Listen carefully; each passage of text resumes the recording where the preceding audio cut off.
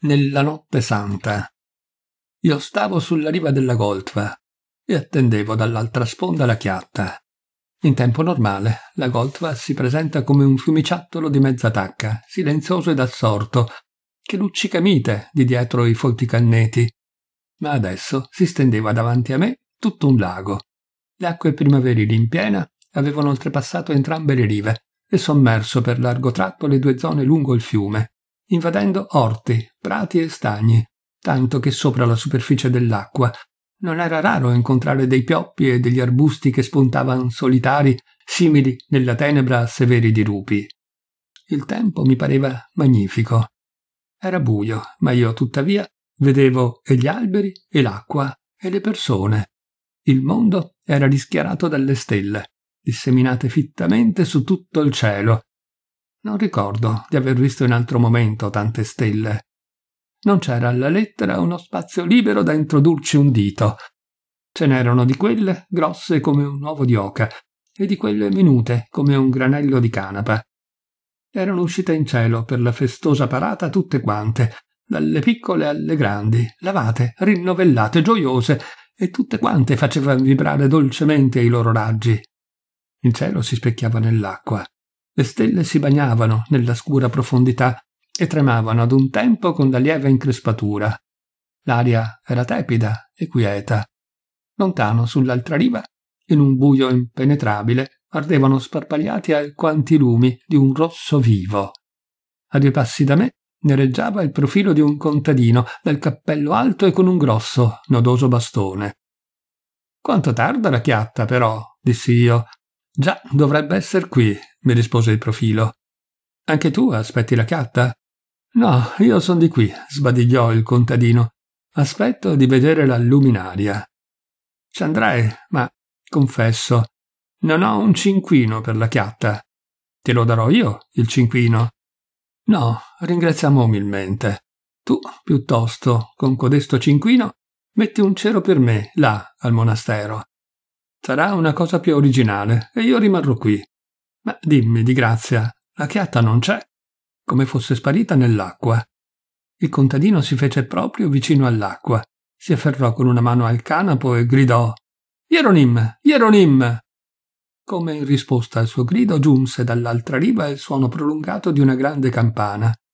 Era un suono profondo, grave, come quello emesso dalla corda più grossa del contrabbasso, Pareva un rantolo delle tenebre stesse. Subito si udì un colpo di cannone e sorrotolò nell'oscurità e finì in qualche posto lontano, dietro il mio dorso. Il contadino si tolse il cappello e si segnò. Cristo risorto, disse. Non ebbero il tempo di morire nell'aria le onde del primo suono di campana, che se ne udì un secondo, poi subito un terzo, e le tenebre si riempirono di un incessante, tremulo rombo, Accanto ai lumi rossi si accesero nuovi lumi e tutti insieme presero a muoversi, a vacillare inquieti. Hieronim! si sentì un grido sordo, prolungato. Gridano dall'altra riva, disse il contadino. Dunque anche là non c'è la chiatta. È addormentato il nostro Hieronim. I lumi e il vellutato scampanio attiravano a sé. Io avevo ormai cominciato a perdere la pazienza e ad agitarmi, ma ecco che infine, scrutando la buia lontananza, scorsi il profilo di qualche cosa che somigliava molto ad una forca. Era la tanto attesa chiatta. Avanzava con tale lentezza che, se non fosse stato il graduale delinearsi dei suoi contorni, si sarebbe potuto pensare che stesse ferma, oppure che andasse verso l'altra riva. Presto, Hieronim! gridò il contadino. Un signore aspetta! La chiatta scivolò verso la riva, oscillò e si arrestò con uno scricchiolio. E stava sopra, tenendosi al canapo, un uomo alto, in tonaca monacale e con un berrettino conico in testa. Perché tanto tempo? domandai balzando sulla chiatta. Perdonate, per amor di Cristo, rispose piano Hieronim. Non c'è nessun altro? Nessuno. Hieronim si afferrò con tutte e due le mani al canapo, si curvò a punto interrogativo e fece un raschio. La chiatta scricchiolò e oscillò. Il profilo del contadino dal cappello alto cominciò ad allontanarsi lentamente da me, segno che la chiatta aveva preso il largo. Hieronim presto si raddrizzò e si mise a lavorare con una sola mano. noi tacevamo, guardando la riva verso la quale si avanzava. Là era cominciata la luminaria che il contadino attendeva.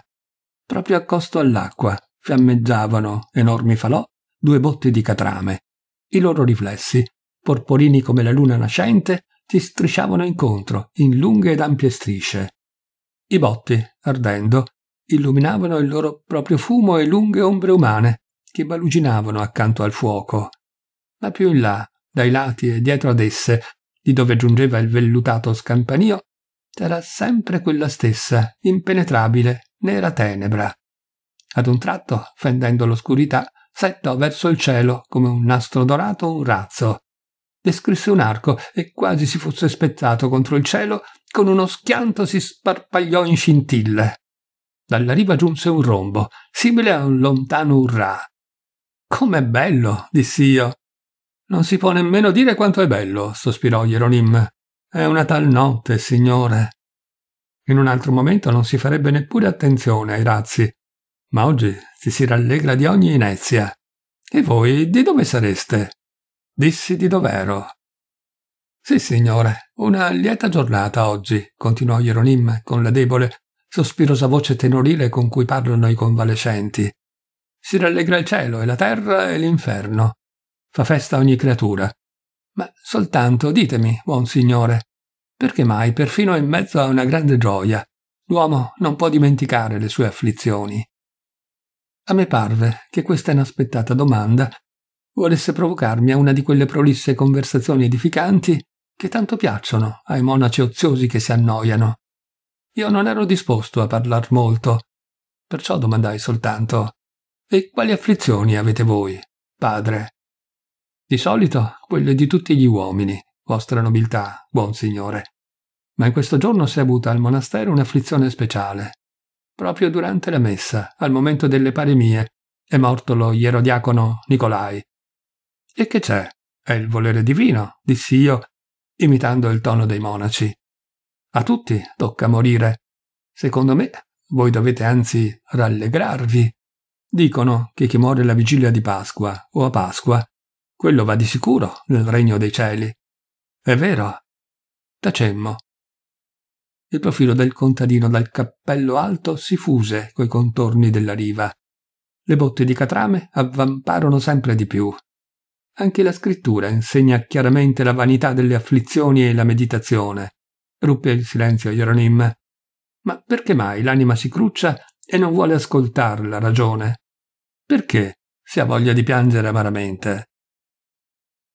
Hieronym si strinse nelle spalle, si voltò verso di me e prese a dire in fretta Se fossi morto io o qualcun altro, la cosa forse passerebbe inosservata. Ma è morto Nicolai? Non già un altro, ma Nicolai. Riesce perfin difficile credere che egli non sia più al mondo. Io son qui, sulla chiatta, e mi par sempre che da un momento all'altro egli debba dalla riva darmi una voce. Perché io sulla chiatta non avessi un'impressione paurosa. Veniva sempre sulla riva e mi chiamava. Apposta per questo si alzava la notte dal letto. Un'anima buona, Dio, quanto buona e misericordiosa. Per certi uomini, nemmeno la madre è quello che era per me questo Nicolai. Salva, o oh Signore, la sua anima. Hieronim si afferrò al canapo, ma subito tornò a voltarsi verso di me. E che luminosa intelligenza, signoria, disse con voce di canto, che armoniosa e dolce favella. Proprio come tra un momento canteranno a mattutino. Ah, amato, oh, la dolcissima tua voce. Oltre tutte le altre qualità umane, egli aveva anche un dono inconsueto. Che dono? domandai. Il monaco mi squadrò e come si fosse convinto che mi si potevano confidare dei segreti, si mise a ridere allegramente. Aveva il dono di scrivere le laudi, disse egli. Un portento, signore. È tutto detto. Resterete stupito se vi spiegherò la cosa. Il nostro padre archimandrita è di Mosca. Il padre vicario ha finito gli studi all'Accademia di Kazan. Ci sono da noi anche degli assennati ieromonici e degli eremiti, ma vedi un po', di grazia, non ce n'è neppure uno che le sappia scrivere. Invece Nicolai, un semplice monaco, un ierodiacono, non aveva studiato in nessun posto ed era perfino di poca apparenza, ma le scriveva. Un portento, un vero portento. Ioronì batté le mani e, dimenticandosi affatto del canapo, continuò con foga. Il padre vicario ha difficoltà a comporre le prediche. Quando scriveva la storia del monastero metteva in croce tutta la frateria e una decina di volte andò in città. Invece Nicolai scriveva le laudi. Le laudi! È ben altra cosa che una predica o una storia. Forse che è difficile scriver laudi? domandai. Difficilissimo. E Hieronym storse il capo. Lì, con la saggezza e con la santità non si fa niente, se Dio non ha dato il dono. I monaci che non capiscono sono d'opinione che a tale scopo occorre soltanto conoscere la vita del santo per il quale si scrive e regolarsi sulle altre laudi. Ma questo, signore, non è giusto. Certo, colui che scrive una laude deve conoscere la vita del santo in modo straordinario, fino all'ultimo minimo particolare. E occorre anche regolarsi sulle altre laudi per sapere dove cominciare e di che cosa scrivere. Per farvi un esempio, il primo condac comincia dappertutto con proibito o eletto. Il primo icos bisogna sempre principiarlo con l'angelo. Nella laude a Gesù dolcissimo, se questo vi interessa, esso comincia così. Degli angeli creatore e signor delle forze. Nella laude alla Santissima Madre di Dio, un angelo protettore fu mandato dai cieli. In quella Nicola Taumaturgo, in figura d'angelo con natura terrena, e così via. Dappertutto si comincia con l'angelo. Certo non si può fare a meno di uniformarsi a ciò, ma la cosa principale non sta nella vita, non sta nella conformità al resto, ma nella bellezza e nella dolcezza. Occorre che tutto sia armonioso, breve e conciso. Bisogna che in questo versetto ci sia morbidezza, affettuosità e tenerezza, che non ci sia nemmeno una parola rozza, dura o non adatta. Così bisogna scrivere, perché il pregante si allieti nel cuore e pianga, e nella mente rabbrividisca e tremi. Nella laude della Vergine ci sono le parole Gioisci, altamente inaccessibile agli umani pensieri, gioisci, profondamente invisibile anche agli occhi degli angeli. In un altro passo della laude è detto Gioisci, albero luminosamente fecondo del quale si cibano i fedeli, gioisci, albero beneficamente fronzuto dal quale molti sono riparati. Hieronym, come spaventandosi di qualche cosa, o fattosi vergognoso, si coprì il viso con le palme e scosse la testa. Albero luminosamente fecondo albero beneficamente fronzuto. Egli mormorò. E c'è chi trova simili parole, e il Signore ha dato una simile capacità. Per concisione egli costringeva molte parole e molti pensieri in una sola parola, e come tutto ciò gli riusciva armonioso e preciso. Lume dator di luce ai viventi, è detto nella laude a Gesù dolcissimo. Dator di luce una simile parola non esiste nel discorso né nei libri, eppure lui l'ha inventata. Eppure lui l'ha inventata, l'ha trovata nella sua mente. Oltre ad avere snellezza e solennità, signor mio, occorre altresì che ogni versetto sia in tutti i modi adornato, e ci siano dentro e i fiori e il fulmine e il vento e il sole e tutte le cose del mondo visibile. E ogni esclamazione va fatta in tal guisa che sia piana e lieve per l'orecchio. Gioisci, giglio della paradisiaca flora, è detto nella laude a Nicola Taumaturgo. Non è detto semplicemente giglio paradisiaco, ma giglio della paradisiaca flora. Così è più scorrevole e dolce per l'orecchio.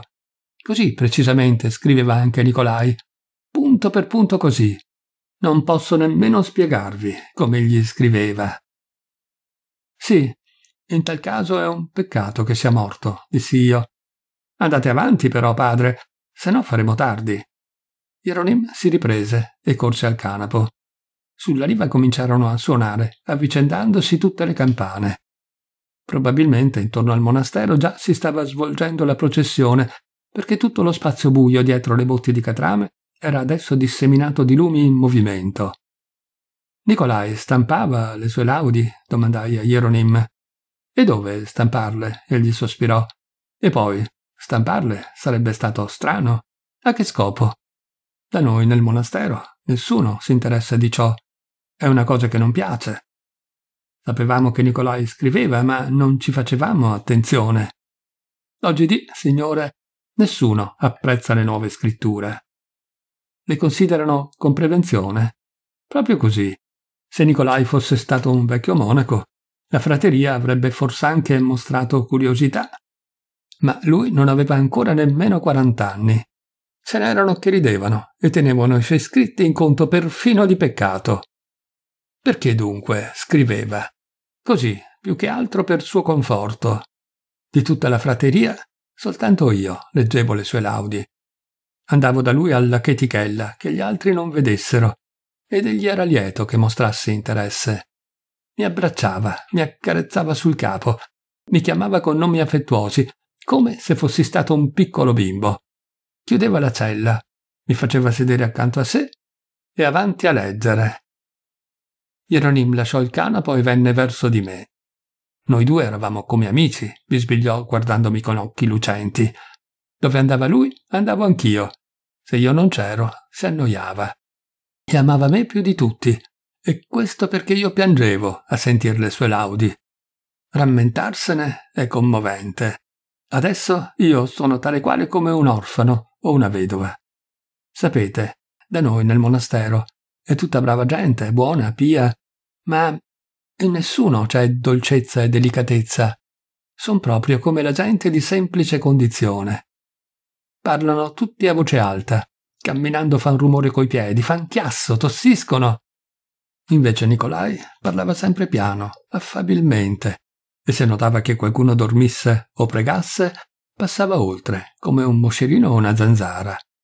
Aveva un volto soave, compassionevole, Hieronym sospirò profondamente e afferrò il canapo.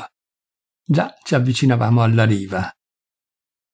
Dalle tenebre dal silenzio del fiume noi passavamo direttamente, a grado a grado, in un regno incantato, pieno di fumo soffocante, di luci crepitanti e di baccano. Accanto alle botti di catrame, già lo si vedeva chiaramente, si muovevano delle persone. Il balenio del fuoco dava alle loro facce e figure rosse un'espressione strana, quasi fantastica. Ogni tanto, fra mezzo alle teste ed ai visi, balenavano musi di cavalli, immobili, come fusi nel rame. Tra un momento intoneranno il canone pasquale, disse Hieronym, e Nicolai non c'è più. Non c'è nessuno che sappia approfondirlo. Per lui non c'era scrittura più dolce di questo canone. Soleva penetrarne ogni parola. Ecco, voi sarete là, signore. Approfondite quel che si canta e vi si mozza il respiro. E voi, forse, in chiesa non ci sarete? Non mi è possibile, bisogna traghettare. Ma non vi daranno il cambio? Non so, dovevano già darmi il cambio verso le nove, ma come vedete non me lo danno. E lo confesso, vorrei andare in chiesa. Siete monaco? Sì, signore, cioè, son novizio. La chiatta corse su per la riva e si fermò. Io misi in mano a Hieronim un cinquino e saltai a terra. Subito dopo un carro da contadini, con sopra un ragazzo e una donna che dormiva, salì scricchiolando sulla chiatta. Hieronim, debolmente tinto di rosso dai fuochi, fece forza sul canapo, si curvò e smosse la chiatta dal posto. Alcuni passi li feci nel fango, ma poi mi fu dato seguire un sentiero molliccio, formato da poco. Questo sentiero conduceva al portone buio, simile a una profonda cavità del monastero, attraverso una folla disordinata di gente, di cavalli staccati, di carri, di calessini. Tutto ciò cigolava, sbuffava, rideva e dappertutto balenavano la luce porporina e le ombre ondeggianti del fumo. Un vero caos. E in mezzo a quella calca trovavano ancora il posto per caricare un cannoncino e vendere panforti. Dall'altra parte del muro, entro il recinto, non c'era meno baraonda, ma si poteva osservare maggior ritegno e ordine. Lì si sentiva odor di ginepro e di benzoino. Si parlava forte, ma non si udiva ridere né sbuffare. Accanto ai monumenti funerari e alle croci si stringevano l'una all'altra delle persone con pani pasquali e fagottini. Evidentemente molte di esse erano venute da lontano per far benedire i pani pasquali e adesso erano stanche.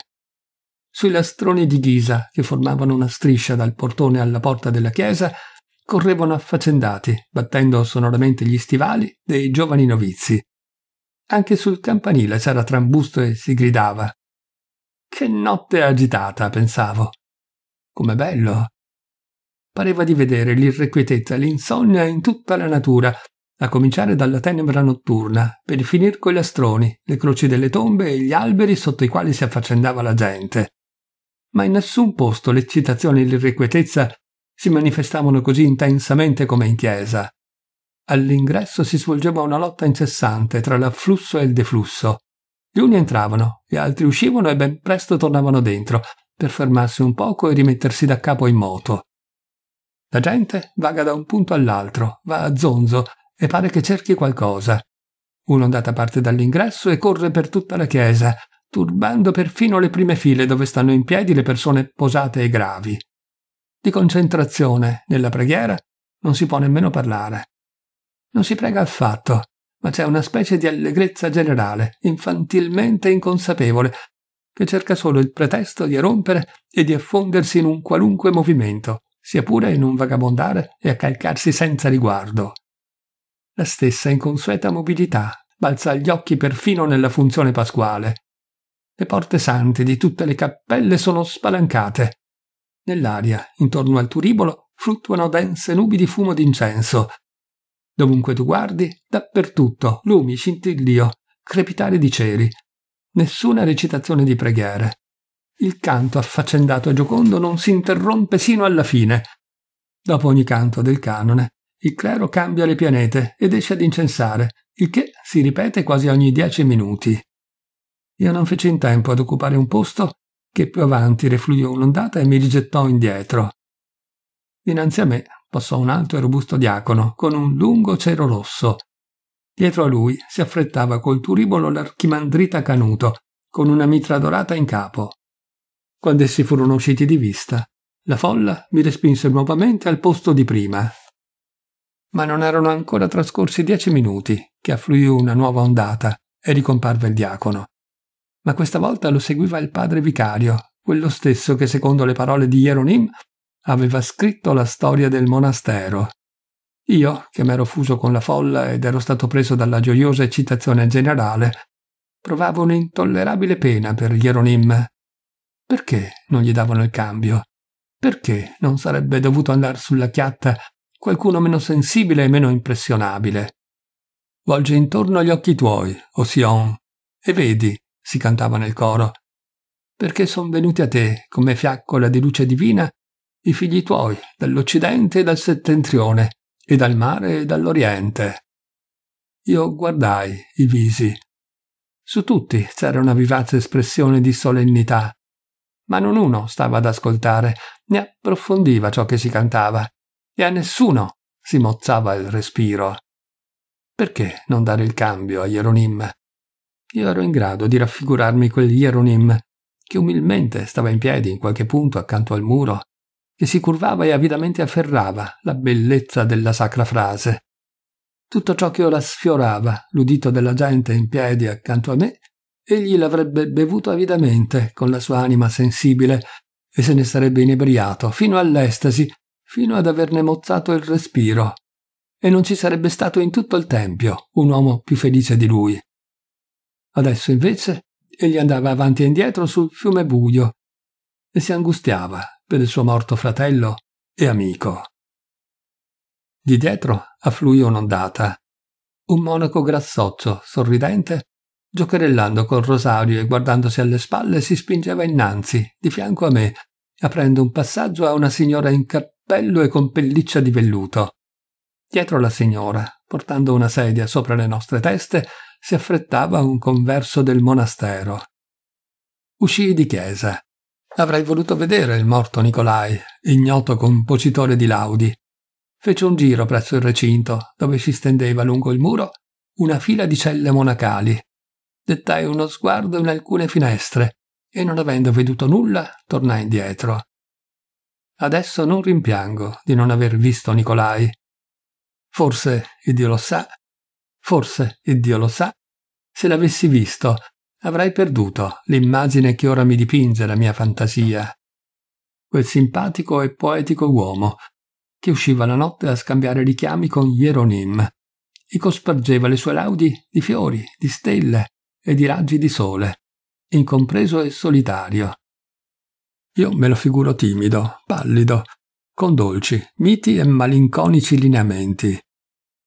Nei suoi occhi, insieme con l'intelligenza, doveva brillare l'affetto e quell'appena trattenuto, infantile entusiasmo che avevo udito nella voce di Hieronym quando mi citava quei passi delle laudi. Allorché, dopo la messa, uscimmo di chiesa, non era più notte. Cominciava il mattino. Le stelle si erano spente e il cielo appariva grigio-azzurro, imbronciato. I lastroni di ghisa, i monumenti e le gemme sugli alberi erano velati di rugiada. Nell'aria si sentiva una pungente frescura. Di là dal recinto non c'era più l'animazione che avevo veduto di notte. I cavalli e la gente parevano affaticati, assonnati. Si muovevano appena e delle botti di catrame non restavano se non mucchietti di cenere nera. Quando l'uomo è stanco e vuol dormire, gli sembra che anche la natura si trovi nel medesimo stato. A me pareva che gli alberi e l'erba novella dormissero. Pareva che perfin le campane suonassero meno forte e meno lietamente che nella notte. L'irrequietezza era finita e dell'eccitazione era rimasta solo una piacevole languidezza, una gran voglia di sonno e di caldo. Adesso potevo vedere il fiume con entrambe le rive. Su di esso fluttuava, or qua or là, disegnando colline, una nebbia leggera. Dall'acqua aspirava freddo e austerità. Quando saltai sulla chiatta, vi stavano già sopra il calessino di non so chi e due decine di uomini e donne. Il canapo, umido e mi sembrava sonnolento, si stendeva lontano attraverso il fiume e spariva a tratti nella bianca caligine. Cristo è risorto. Non c'è nessun altro? domandò una voce sommessa.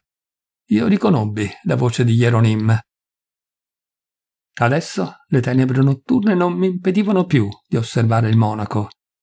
Era un uomo alto, stretto di spalle, sui trentacinque anni, con lineamenti grossi e tondeggianti, con gli occhi semichiusi che guardavano pigri, e una barbetta a punta, non ravviata. Aveva un aspetto insolitamente malinconico e stanco. Non vi hanno ancora dato il cambio? mi meravigliai.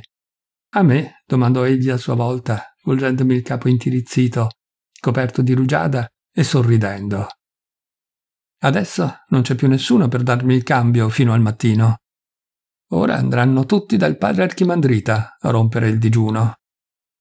Lui e anche un certo contadinotto dal berretto di pelle rossiccia, simile a quei bossoli di tiglio nei quali si vende il miele, fecero forza sul canapo, emisero un raschio con corde e la chiatta si mosse. Prendemmo il largo, disturbando per via la nebbia che si alzava pigramente. Tutti tacevano. Hieronym lavorava come un automa, con una sola mano. Egli girò a lungo su di noi i suoi miti occhi appannati. Poi fermò il suo sguardo sul volto roseo di una giovane mercantessa dalle ciglia nere che stava sulla chiatta al mio fianco e si ragghinciava in silenzio per la nebbia che l'abbracciava. Dal suo volto non staccò gli occhi durante tutto il percorso. In quello sguardo, prolungato, c'era poco di maschile. Credo che sul volto della donna Hieronym cercasse le dolci e delicate sembianze. Del suo istinto amico